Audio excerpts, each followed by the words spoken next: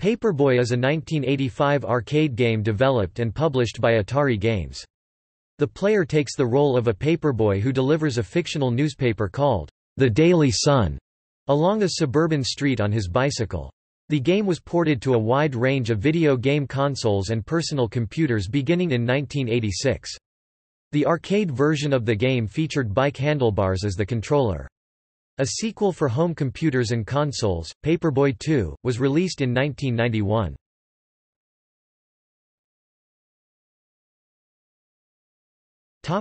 Gameplay The player controls a paperboy on a bicycle delivering newspapers along a suburban street which is displayed in a cabinet perspective or oblique projection view.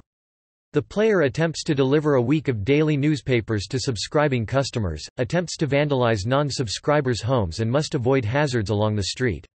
Subscribers are lost by missing a delivery or damaging a subscriber's house. The game begins with a choice of difficulty levels, easy street, middle road and hard way. The object of the game is to perfectly deliver papers to subscribers for an entire week and avoid crashing which counts as one of the player's lives before the week ends.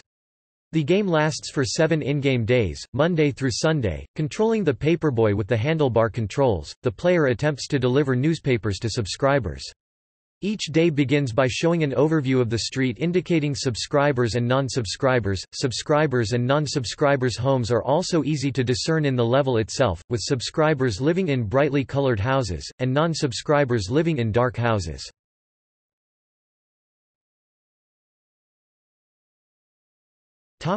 Hardware The cabinet of this game is a standard upright but with custom controls. The controls consist of a bicycle handlebar a modified Star Wars yoke with one button on each side, used to throw papers. The handlebars can be pushed forward to accelerate and pulled back to brake. The game runs on the Atari System 2 hardware. The CPU is a 10 MHz Digital Equipment Corporation DEC T11. For sound and coin inputs, it uses a 2.2 MHz MOS technology 6502. The sound chips are two POKEYs for digital sound, a Yamaha YM2151 for music, and a Texas Instruments TMS5220 for speech. The protection chip is a Slapstic Model 137412-105.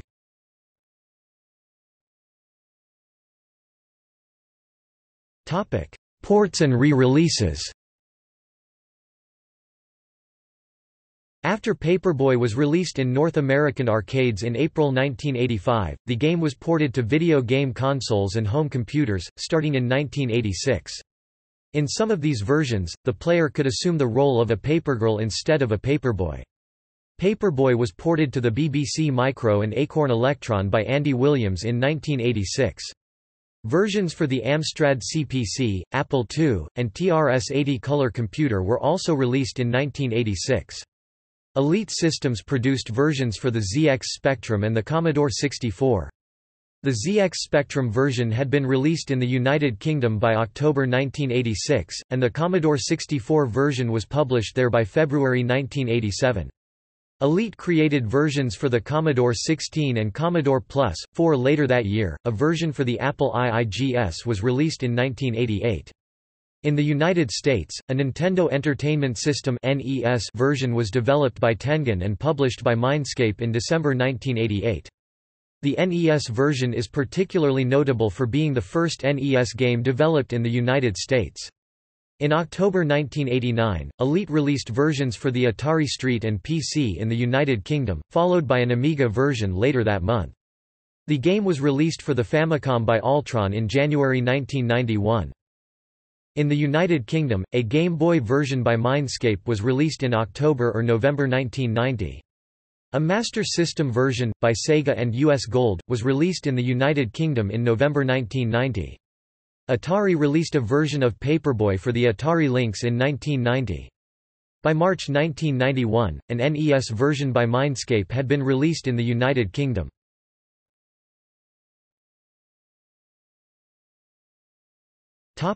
Reception Anthony Baize of Allgame rated the arcade version 4 stars out of 5, praising its isometric view and calling it one of the most innovative coin-op games of the mid-1980s. In 2007, Spanner Spencer of Eurogamer rated the arcade version 9 out of 10 and praised its gameplay, graphics, and music. Advanced Computer Entertainment ACE offered praise for the Atari Street version, awarding it a score of 850 out of 1000, while Zero gave it a score of 86 out of 100. Ace and Zero noted that the Atari Street version looked and played like the arcade version. Computer Gamer gave the ZX Spectrum version a rating of 16 out of 20, considering it to be a faithful conversion of the arcade game, while noting that some people may find the gameplay to be repetitive.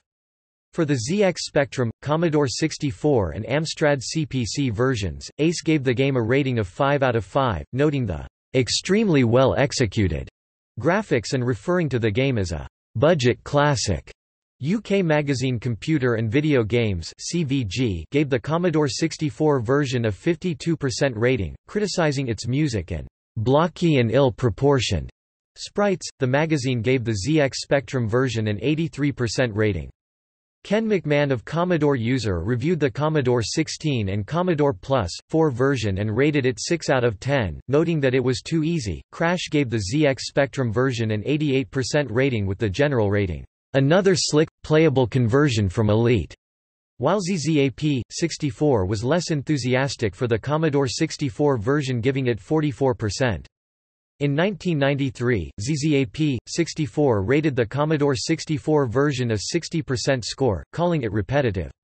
Richard Ledbetter of CVG reviewed the Lynx version and stated, "...looks good, but simply isn't enough fun to play." Start's Clayton Walnum similarly praised the Lynx version's graphics and sound effects but deemed the game, "...just another shoot 'em up without the shooting." Raze offered praise for the clear and colorful graphics of the Lynx version, but stated that the game, "...is too old and tired for the exciting and new Lynx." Allgame's Kyle Knight criticized the Lynx version for its simple sound effects and music, as well as its repetitive gameplay. Ledbetter praised the Master System version, calling it, one of the best arcade conversions available for the system, while noting that the game's only slight downer was the music. Mean Machines praised the Master System version for its graphics and similarities to the arcade game, while Raze wrote a mixed review for the Master System version.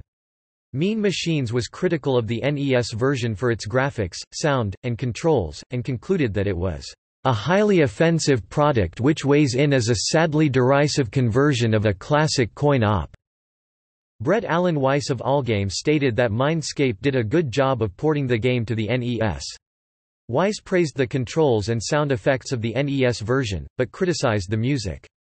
Raze considered the Game Boy version to be excellent, while Mean Machines criticized its controls, blurry scrolling, and the lack of colorful graphics, which could not be produced by the system.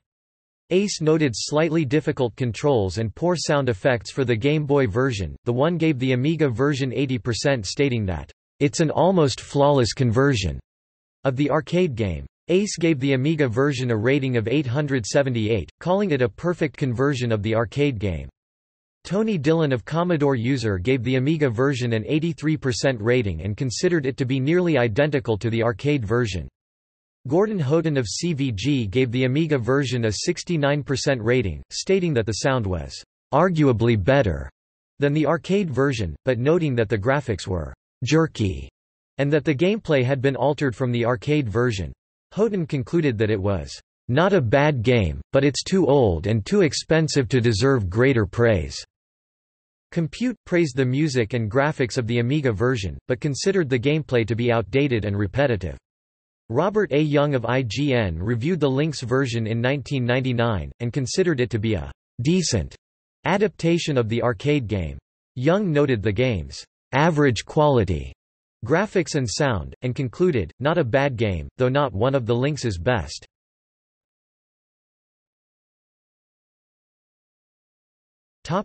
Later releases IGN's Craig Harris reviewed the Game Boy Color version and stated that it is definitely the worst rendition of the game, even beating out the Atari Lynx's watered-down port of the arcade game. Harris criticized the game's music, the lack of speech audio from the original game, poor collision detection, and a lack of fun. Scott Allen Marriott of Allgame praised the Game Boy Color version for its colorful graphics, but noted that the game did not introduce any new changes from the original arcade version, writing, "...those expecting a lot of changes or additions will be disappointed." Dean Austin of IGN criticized the retro 3D look of the Nintendo 64 version, but praised the gameplay and considered it to be a great game. Daniel Erickson of Daily Radar criticized the bland and repetitive gameplay of the Nintendo 64 version. Robert Amsbury of Game Revolution praised the sound effects in the Nintendo 64 version, but considered the music to be repetitive, while noting that the game isn't really all that fun. Weiss criticized the Nintendo 64 version for its music and sound effects, as well as poor controls, and wrote that the game had some of the ugliest graphics you'll find in a Nintendo 64 cartridge. Ben Stahl of GameSpot noted the outdated sound effects used in the Nintendo 64 version, and stated, "...while a decent game on its own, Paperboy 64 doesn't capture the magic of the original arcade game." IGN's Levi Buchanan, reviewing the cell phone version, praised the controls and stated that the game looked and played like the original arcade game. According to Metacritic, the Xbox 360 version received mixed or average reviews. Team Xbox gave the Xbox 360 version an overall score of 8.2, stating that Paperboy delivers as advertised in the classifieds.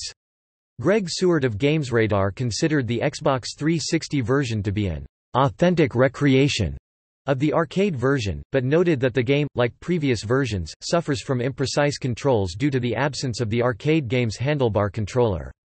Jeff Gerstmann of GameSpot reviewed the Xbox 360 re-release and was disappointed by the lack of new sound effects and music, as well as the lack of graphical updates. Gerstmann stated that the game would most likely appeal to people who have fond memories of the original arcade game. IGN's Eric Brudvig, reviewing the Xbox 360 version, considered the game to be a limited amount of fun. Brudvig noted the lack of a handlebar controller and stated that, thanks to the isometric view, this version of Paperboy suffers from the same wonky controls that every home version of the game has. Kristan Reed of Eurogamer praised the Xbox 360 re-release for its controls and noted that the game stands up pretty well despite its age, although he stated that the game quickly becomes repetitive. Corey Cohen of official Xbox magazine praised the Xbox 360 version for its music and controls, and noted that it was as appealing as the arcade version. Taran van der Bijl of Pocket Gamer criticized the iPhone version for its poor controls, and stated that the game's optional 3D graphics mode was ugly and feels clumsy and inaccurate. Slide to Play considered the iPhone, iPod version a mixed bag, but praised the gameplay. Mark Langshaw of Digital Spy reviewed the iPhone version and stated that it would likely appeal most to fans of the original game. Langshaw concluded, as far as nostalgic remakes go, Paperboy delivers but doesn't quite do enough to make the front page. According to Metacritic, Paperboy, Special Delivery has a score of 55 out of 100, indicating Mixed or average reviews. Blake Patterson of TouchArcade considered Paperboy, Special Delivery to be an improvement over Elite's iPhone version, praising the improved controls and graphics. John Mundy of Pocket Gamer rated the game 5 out of 10, criticizing the gameplay and controls, and writing that the biggest flaw is the game's technical shortcomings. The graphics are extremely basic and yet the game paused and stuttered repeatedly on my second generation iPod Touch. Andrew Nesvadba of AppSpy rated the game 3 out of 5, praising the updated graphics while criticizing the controls. Nesvadba also praised the addition of a story mode, but criticized its short length.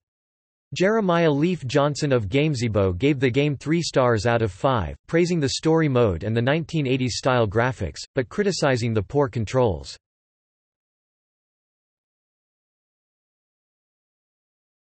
Topic: Legacy. A sequel, Paperboy 2, was released in 1991 for several home systems. Paperboy, in its original arcade form, is included in the 1998 PlayStation video game Arcade's Greatest Hits, the Atari Collection 2. A Game Boy Color version, developed by Digital Eclipse Software and published by Midway Games, was released in the United States on May 30, 1999. By July 1997, developer High Voltage Software had begun conceptual development of a Nintendo 64 version and was searching for a game publisher, with a possible release in 1998. In August 1998, Midway Games announced that it would be publishing the Nintendo 64 game, which was still in conceptual stages and was expected for release in late 1999. The game was developed using a 3D polygonal game engine, and was released in the United States on October 26, 1999. In May 2000, Midway announced plans to release Paperboy for the PlayStation later that year, although the game was never released. Paperboy was later included in the 2003 video game Midway Arcade Treasures, a compilation of arcade games for the Nintendo GameCube, PlayStation 2, Xbox, and Microsoft Windows. In May 2005, Sega Mobile announced that it would release Paperboy for mobile phones. The game was released in May 2006. Paperboy was also released on February 14, 2007 on Xbox Live Arcade for the Xbox 360, however, the game was removed by 2010. An iPhone, iPod Touch version was released through the App Store on December 18, 2009. The game was developed by Vivid Games and published by Elite Systems. Elite removed the game from the App Store in March 2010, because of a licensing conflict. GLU Mobile developed and published a new iPhone, iPod Touch version, titled Paperboy, Special Delivery, on November 4, 2010. The game included a 20-level story mode in which the paperboy is saving money from his job to buy a new game console, but he later falls in love and throws roses instead of newspapers. The game also featured an optional tilt-based control mode in which the iPhone is tilted to control the Paperboy. A port of Paperboy can be accessed in the 2015 video game LEGO Dimensions by using the arcade dock in the level, Painting the Town Black.